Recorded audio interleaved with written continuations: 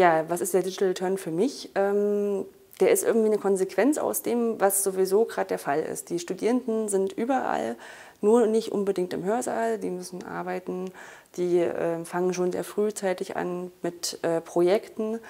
Ähm, auch auch äh, Teilnehmende außerhalb von Hochschulen sind an Hochschullehre interessiert. Und da kommen diese ganzen Probleme auf einen zu, die Ortsunabhängigkeit, die Zeitunabhängigkeit. Wie sieht es eigentlich aus, wo kriege ich die Materialien her, darf ich die benutzen? Und ähm, das sind so die, die Sachen, die Formate wie MOOCs oder wie Open Educational Resources vorantreiben und irgendwann auch zur Konsequenz werden lassen.